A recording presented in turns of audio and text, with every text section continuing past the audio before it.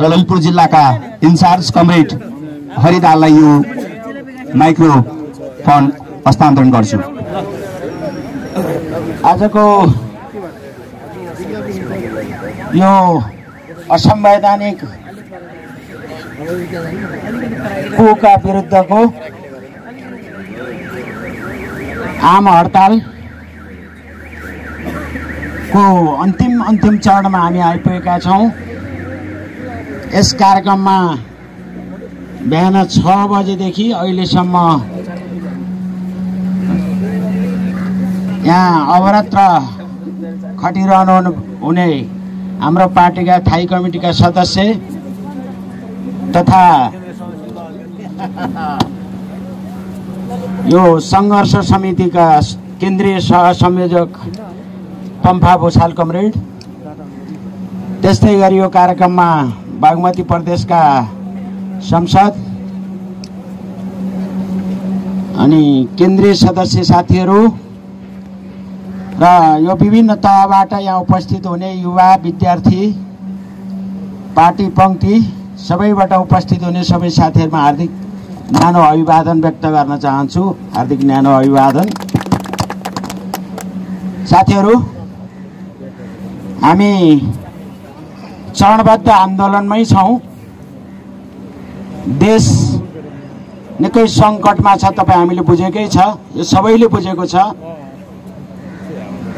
देशमा असाध्यै कठिन स्थितिको सिर्जना गरिएको छ र गराइएको छ। यसका विरुद्धको सङ्घर्ष अझै हामीले गर्न नै बाँकी छ। हाम्रा सेड्युल अनुसारका कार्यक्रमहरू अझै बाँकी छन्। वास्तवमा यति लामो इतिहास सत्तरी वर्षको लामो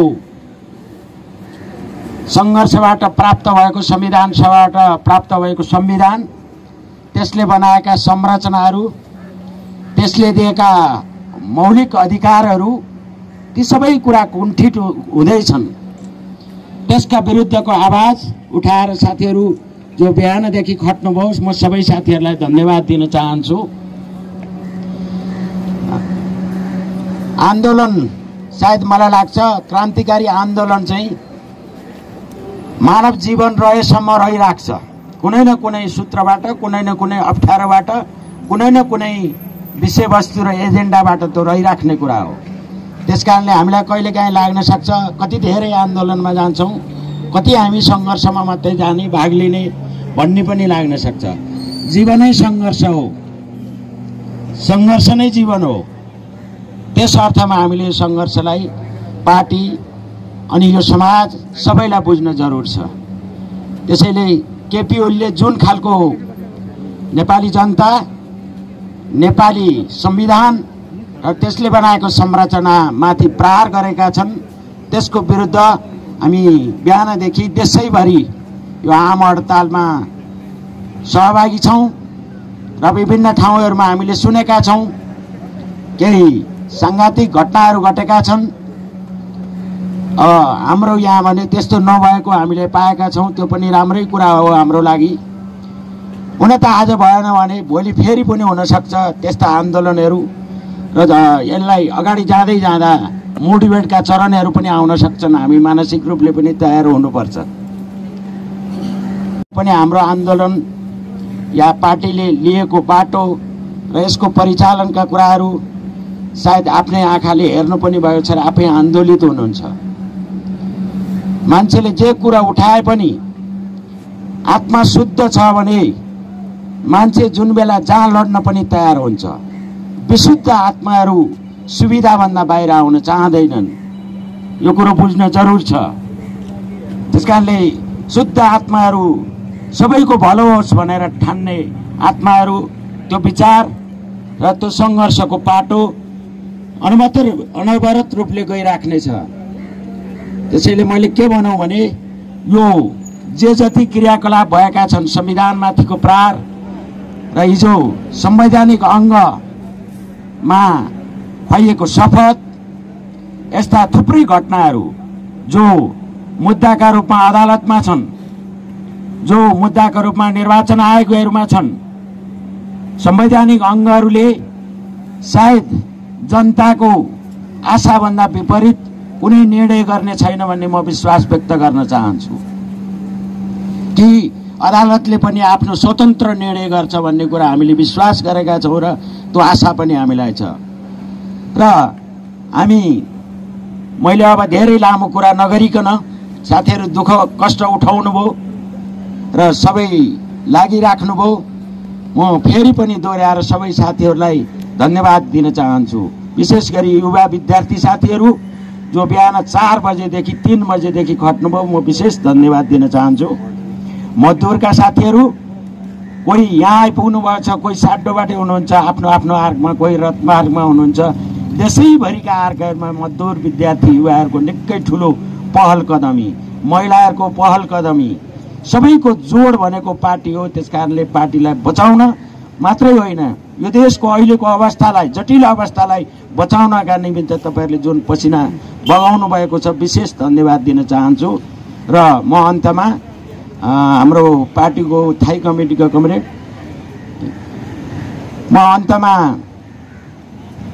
उहाँलाई पनि धन्यवाद दिन चाहन्छु र म आह्वान गर्न चाहन्छु कि जनताले यो कुरो बुझ्न जरुर छ।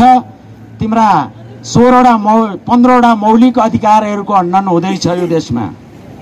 त्यसको व्याख्या मैले गरिनँ धेरै मान्छेले पढिसकेको कुरा हो।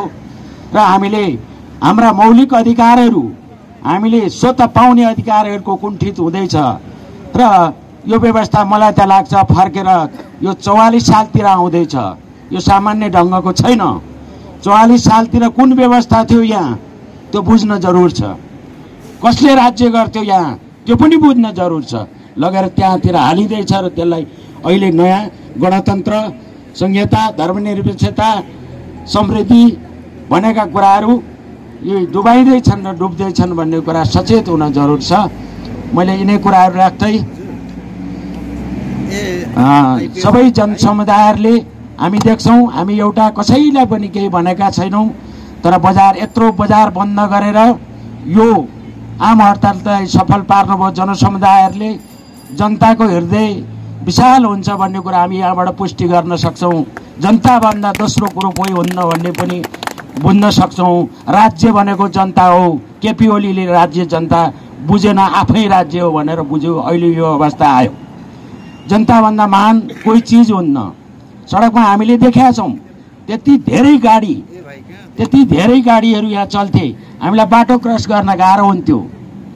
उनीहरू जसले व्यवसायीहरू विशेष त यातायात मजदुरका साथीहरूले असाध्य ठुलो सहयोग गरेर यातायात ठप्प बनाइदिनु भएको छ त्यसमा पनि म धन्यवाद दिन चाहन्छु।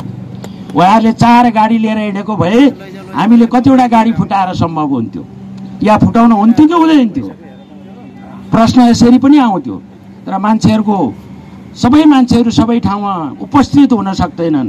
आत्मा हृदय भने सही कुराको लागि सबैले समर्थन गर्छ। त्यस कारणले मैले उद्योगी व्यापारी र आम जनसमुदायहरू विभिन्न सङ्घ संस्थाहरू सबैलाई पनि धन्यवाद दिँदै तपाईँहरू सबैलाई धन्यवाद दिँदै यो कार्यक्रम यी सुरक्षाकर्मी साथीहरू असाध्य संयमित ढङ्गले अन्त हामीले देख्यौँ। काहीँ गोली नै चल्यो भन्ने छ काहीँ लाठी भयो भन्ने छ। यहाँ ललितपुर जिल्लामा जो साथीहरूले साटोबाटो पनि गर्नुभयो यहाँ पनि गर्नुभयो जिल्लैभरि यति संयमता अप्नाउनु भयो तपाईँहरू सबैलाई धन्यवाद दिन चाहन्छु म। यो संयमता बडो चाहिँ जोगाउने कुरा हो। पत्रकार मित्रहरूले आफ्नो आफूहरू अनवरत ढङ्गले खटिराख्नु भएको छ र यहाँका रिपोर्टहरू यहाँका भएका गतिविधिहरू सबै एकदम लाइभ टु लाइभ प्रसारण गर्नुभएको छ र दुनियाँलाई जागरण गराउने अर्को काम गर्नुभएको छ म तपाईँहरूलाई सलाम दिन चाहन्छु। यति भन्दै म अब यो कार्यक्रम यी समापन भएको घोषणा गर्छु। र अहिले यहाँ ऐन धेरै भनिएको छ। एघार बजी सबै वडाबाट आफ्ना पार्टी सदस्य साथीहरू लिएर डिलाइट पार्टी प्यालेसमा उपस्थित हुन अनुरोध गर्छु। एक दोस्रो अठाइस गतेको कार्यक्रमको लागि उत्तिकै तयार गर्नका लागि म साथीहरूलाई हार्दिक अनुरोध गर्दछु। धन्यवाद।